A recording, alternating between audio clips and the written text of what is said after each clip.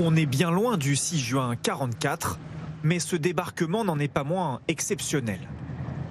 L'exercice Orion mobilise 7000 soldats français, du jamais vu depuis 30 ans.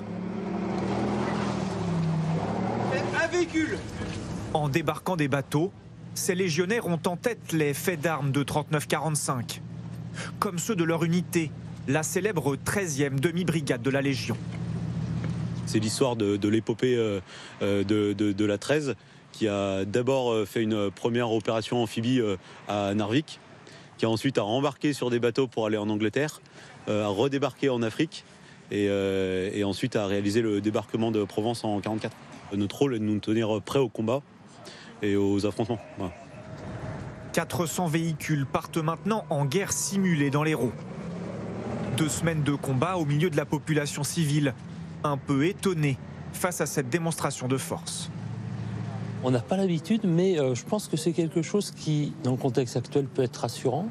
Et puis, il faut montrer aussi que l'armée fait partie de, de la nation et de la vie de tous les jours. Et je pense qu'on ne voit pas assez nos militaires. Après, un petit peu peur euh, par rapport à ce qui se passe en ce moment en Ukraine, etc. Euh, on se pose un peu des questions du style bon, ben, est-ce qu'il va falloir qu'on intervienne aussi dans ce genre de conflit? Dans cet exercice, on se bat en mer, sur terre, dans les airs et aussi dans le champ cyber.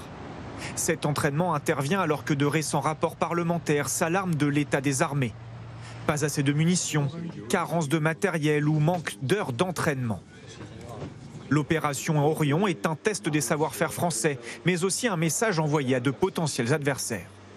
Ça prouve aussi notre capacité à être leader d'une coalition et d'être capable d'agréger des unités alliées sous notre commandement. Ça aussi, c'est une capacité qui n'est pas partagée par tous les pays.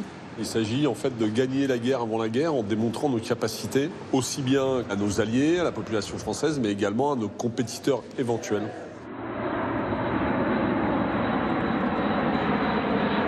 La veille, plus de 600 parachutistes ont été largués avec leur matériel derrière les lignes ennemies près de Castres. Vous avez déjà fait un tour à autant Euh, non, pas autant. Non.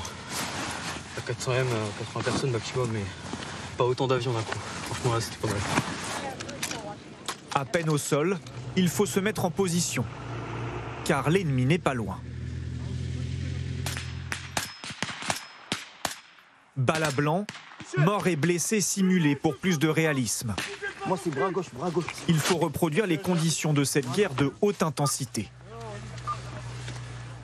Ah, nous avons été pris à partie directement euh, sur la zone de saut. Ces parachutistes appliquent ici des enseignements de la guerre en Ukraine. Il faut être le plus discret possible pour ne pas se faire repérer par les ondes radio qu'ils émettent. Les véhicules de commandement risqueraient de se faire bombarder. Alors nous, là, vous pouvez voir, j'ai deux véhicules légers. En fait, je vais pas m'en servir, ça va me servir de l'heure. Moi, je vais me déplacer énormément à pied. Et j'ai mon adjoint, en fait, que vous voyez pas parce qu'il est en silence. Et en fait, à partir d'un certain moment, c'est moi qui vais basculer en, en silence. C'est lui qui prendra le lead. Parce qu'on sait que la vulnérabilité, ça va être sur les postes de commandement, ça va être sur le soutien médical et le soutien logistique. Allez, l'entrée de l'info.